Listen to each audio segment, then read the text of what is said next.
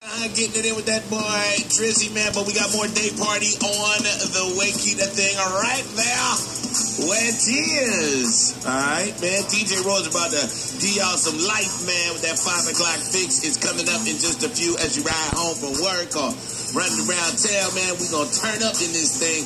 So keep it right there. Now look out for that boy DJ Slap One tomorrow with DJ Papa Club Continental. Friday Night Live goes down in that East. 7140 down.